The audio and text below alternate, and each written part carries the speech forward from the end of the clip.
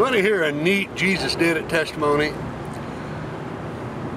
This store in the background is located in the in the uh, center area of Grand Rapids, Michigan, and this has been a hot spot for I think at least two years. A hot spot, I say, in that um, we have put out boxes and boxes and boxes hundreds, thousands of copies of real life story testimony books in this store and I have been amazed at how quickly people take them. Now this is an area of the city where folks don't have as much as folks living in the suburbs and there's a lot of a lot of uh, I don't want to say poverty, but folks aren't that well off here, and so I have just found that there's a lot of hunger in this area for spiritual uh, content. But I believe it's more than that. I just have to believe that maybe God is uh, uh, doing some roots of a revival here in Grand Rapids. Uh, I don't know. All I know is these books, I put these precious testimony books out and they go like in a day or two. I'll put a box out, they'll be gone the next day. Put two boxes out, they'll be gone four or five days. And I say this because I've known the devil has not liked it. And so I'm filming this um, here in the first week of June a week and a half of June. And the latter part of May, I was down here at this location to see if I needed to refill more testimony books and Jesus Did It flyers and the Jesus Did It flyer holder. They too have been going. Jesus Did It flyers have been going. It's amazing how how many are going in over these last two years, maybe three. But anyway, uh, came down here and uh, there was a lady uh, cleaning out in the area where we put the uh, testimony books and uh, uh, we struck up conversation and she said to me they don't want any material going out here, no more of this religious material out here on the shelf where I put the books. And I said, well, why? And she said, I don't know, they just said they don't want them out here, so I'm just passing it along. Well, I said, well, who's they? She said, I, I, don't, I don't know, she didn't want to talk about it. They just don't want this stuff out here anymore. So I had to honor that and, uh, and thought, okay, we lost it. And I was very upset about that. Well, my good friend, my prayer partner and good friend in the Lord, Dan Van Hoven, Dan has been coming down because he's a part of an outreach here not far from this location. And he's helping pioneer an outreach uh, to this part of the Grand Rapids area. And so he's had some boxes of books and when it's convenient for him he stops by and resupplies the, the testimony books and the Jesus Did It flyers if that needs to be replenished. And uh, so it's convenient for him and for convenient for me and we'll praise God. And so I was just sharing with him soon after we lost the location how the devil got the victory here. And he said, well, let's just pray and ask God to restore that location uh, if at all possible. Let's just pray for a miracle. And I said, yeah, you know, let's do that. And so, like so many other areas, so many other things that Dan and I have joined together, prayed in a prayer of agreement for, unselfish things that are God things, kingdom of God things. Uh, it was Brother Dan who I just kind of let pray because I didn't have any faith. I was mouthing the words, but I didn't have the faith. Dan seemed to have the faith. He had the unction of the Holy Spirit. And he just prayed that God would do a miracle if it was God's will and that these books could once again be placed in the store for people to take free of charge. And so I just dropped down here. It's Thursday. I'm not even sure exactly what day it is, like maybe the 9th of June 2018, give or take a day or two. And I just, I've been down in the Grand Rapids area again asking God where he would have me put out these testimony books. And I don't like to just put them out until I really hear clearly where the Holy Spirit wants me to put them out, whether it's just to stand, you know, on a street corner or some location and hand them out physically or sometimes set some out or however the Holy Spirit would lead at the given time. And so I came back down here. My heart is, oh, I just didn't want to give this location up. And I, so I drove down here to this parking lot and uh, we're at the corner of uh, Hall and Madison area in the Grand Rapids area. The store sits at the southeast corner of Hall and Madison and and I'm looking at different options of maybe where I could set a box of these books out, and just put free on them, and I know people would take them, but I just, you know, it's so much better to have the books inside in a location where they're out of the elements of the weather and people are funneled going in and out of the store, which it is here, so it's, it, you know, it's not competing with shelf space in the store. Just a perfect spot for people to find the books and take them if they want. And so many have wanted them. Uh, I've been here putting books in this location and people said, hey, they're coming out with a new edition or hey, uh, you know, I came down here to get a book and they're all gone. You know, somebody told me about I could get one of these testimony books. And so there's just been a whole lot of uh, interest in these books. Uh, the few times I come down to resupply. And so anyway, I just went into the store. I had, I had to go to the bathroom and was looking to see if they had a restroom that I could use and and uh, so I walked into the store and saw that they didn't have a restroom. Now this is just an hour ago, okay? And uh, and so they didn't. So I'm looking around the store thinking maybe I could use a bottle of water a little dry. But then I needed to let go of some earlier liquid and they didn't have a restroom so I'm weighing whether to try to hold it or do what and I see some dignitaries standing talking. Looked like dignitaries to me and so one guy uh, looked like a very important dignitary and uh, his name was Sam I found out and told him my name and I asked him if he was a manager or managers. He said no I'm not but the but the manager he's talking to somebody right there and I said well he said why? What do you need? And so I told him about the situation with the testimony books and then losing it. How it's such a wonderful uh, blessing to the community to be able to get those books and I felt that God would put his blessings on the store for allowing those books to go out and the Jesus Did It flyers. Uh, myself, I've been praying for this location because of that, because I know the devil doesn't like that and God needs the prayers of God's people when content like this is going out to keep the devil away. It doesn't just, just happen. Prayer coverage needs to go forth for a hot spot for Jesus like this one. And uh, so he said, now talk to the manager. He said, probably let you put those books out. So manager got talking to whoever he was talking to, and he come up to me, and I quickly introduced myself and told him what had happened and, you know, what it would be wonderful to be able to do to put those books back out there for people to have uh, if they want them. And he said, put them books out there. He said, that's no problem at all.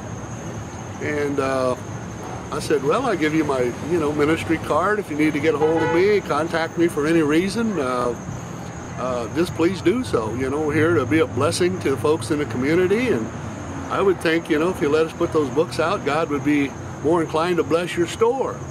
And I said, are, are you the existing owner or what? He's, no, no, I'm a new owner. We're, we're new owners. And he said, I'm going to manage the store. And so we're setting up a whole new operation here. And I said, well, I just want you to know uh, I'll be praying for this store and going to ask other people that know about this location and what's going on that they would pray as well for your store that God would blossom it and prosper it and and uh, it would do well because you're willing to put out God material here. And he said, well, I sure appreciate that.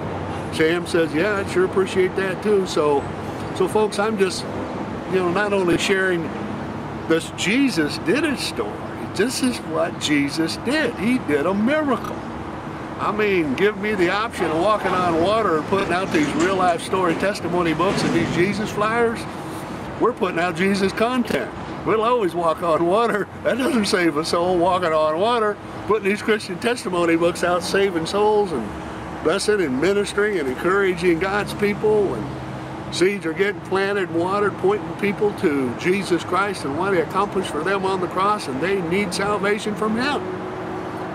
And so please uh, pray, saints, as the Holy Spirit leads you. Make it, make it a, a prayer priority of yours to pray for this location and uh, that God would be able to continue to uh, not let the devil hinder in any way, shape, or form these testimony books that people can have here at this location.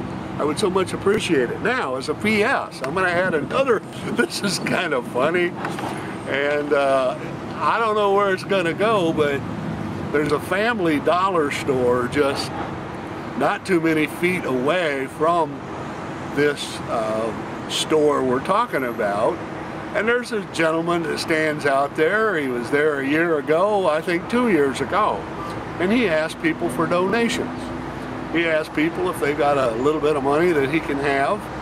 And uh, I think most of the people that come here uh, in this area, go to the store, knows full well who he is. And I know that many of them gently try not to hurt his feelings, but most say no. He asked me if I had some money for a little donation to help buy something and he told me he's homeless and I heard that last year he's homeless and I think the year before that he's homeless and he could use some uh, you know a handout and uh, and uh, he's very gracious if you say no and I told him no I wasn't able to help him I didn't have any cash on me and he said well thank you and everybody that comes by he's he's asked he's very persistent so I'm watching this and I thought well you know let's let's see where this goes. So I went over and introduced my name. I'm Norm. He told me his name's Keith, and I said, Keith, you know, I think there's probably a way where you might uh, have people hand you a uh, donation more than just the way you're doing it now. What was that? I said, well, why don't you give people this uh, testimony book. Just ask people if they like a free Christian testimony book. And, uh, you know, I, rather than just asking for money, why don't you give them something first, something good? I don't want to do that. No, I don't want to do that. I'm doing okay. All right, well, you know, just thought I'd offer a little help here. And so I sit down outside the store, my little stool that I'm sitting on now, and started putting the uh, Jesus Did It flyers in a case of these uh, edition three testimony books. And uh, so he walks over in due time and, and uh, he said, yeah, give me a few of them testimony books. I'm going to give it a try. I said, okay. So I gave him a handful, eight, nine, ten of them. He walked back over to his position. Um, and uh, my gosh, everybody goes by. He's, he's giving these testimony books away. I mean, it's like they're taking them. And I don't know if they're appeasing him or what, but they're taking them. And before long, he's out. And he comes back and he said, give me a few more of them testimony books. Man, people really take these. I said, well, you got the stuff, man, you know. And so he gave out a dozen or so more, and finally he's out. I'm watching, he's out. And uh, so I walk over and I said, well, Keith, I'm, I'm going to go. I said, would you like for me to leave you a box of these testimony books to hand out? No, he said, I've done the Lord's work for today. I said, well, what does that mean? He said, well, I, I don't want to do too much. He said, things aren't right with, with, with me and the Lord. And, and he said, it just aren't right. And uh, so I don't know, you know, I don't want to do too much. He said, I just want to do a little bit of the work of the Lord, but I don't want to do too much. And I said, well, I don't understand that. He said, well, he says, things don't always work right up here, but anyway, he said, I'm good to go. And I said, well, you know, if you feel inclined to to give more of these out, just remember, you know, the Bible says it's more blessed to give and to receive, and if you don't work, you don't eat. And I said, you go get some of these testimony books out of the store there, just come out where you're at, hand them out, bless people with them, and as far as I'm concerned, that's working for the Lord, and it's for a good cause, and so how, do, how can you lose? They said, well, I'm good for today. So I don't know where that'll go, but uh, you can lift Keith up in prayer and pray that God will make him a productive member of society. And maybe he'll have a whole new career of handing out real life story testimony books. And maybe he'll get his socks blessed off and and uh, maybe he'll become um, a very productive disciple for Jesus Christ. What a blessing that would be. That would be awesome. So anyway, just wanted to share what God did here, what Jesus did, and uh, we'll just keep uh, putting the camera up and filming. I'm thinking I'll come back in a day or two and see how many books are gone and and put it on camera and just keep you folks updated on this particular video clip of how quickly these Jesus books, these uh, precious testimony books, these real life story Christian testimony books go in a high traffic area in the right sections of a community. It's just mind boggling. I mean, I would have thought a year ago there was market saturation, but some of the people that come and get these books say, no, I'm giving these away as gifts. I'm sending them away. I come down here at Christmas time some months back. Oh, I'm sending these as Christmas gifts to people. They'll, they'll appreciate this more than anything else I could give them. So it's like, wow, this is, this is just such a blessing. And for those of you who uh, would like to see a blessing unfold in your city and your community, God needs one person willing to get a box of these books, start out with a box, put them out, monitor, watch, see what God does. And uh, you just can never know how many lives that God would bring to himself through Jesus Christ, just through these testimony books put out where people can find them. So there are ordering instructions below on how you can get a box of these testimony books and even if you, for whatever reason, don't want to give these testimony books out, boy, if you can send a donation to the Precious Testimonies Ministry, that's awesome because we're having to buy the books and we put the Jesus Did It flyers out free. We send those out to people free. We don't ask money for that and so it helps to keep the ministry going and all of the different uh, aspects uh, that consist of the ministry, you know, doing the testimonies and uh, website, paying to keep the website up and, and the things that uh, keep that going and, and the spiritual content that we put out, the testimony books and the Jesus Did It flyers. And, you know, your donations might enable us to come up with sufficient postage to be sending these real life story testimony books to people uh, out of the United States. Uh, we get a special rate sending a box of these books to people uh, in the United States, but if they're sent out of the United States, then we have to pay big postage to send a box of these books. So if God provides through generous donations from people like yourself, praise God. And if he doesn't, well, you know, we'll do what we can do. You can only do what you can do with the money that's available that comes in. Uh, so just, you know, just uh, be pray, praying about maybe God would have you sow uh, a donation to Precious Testimonies or more. Uh, I can assure you that it will be a uh, very fruitful uh, seed or seeds that you're sowing into a very good outreach.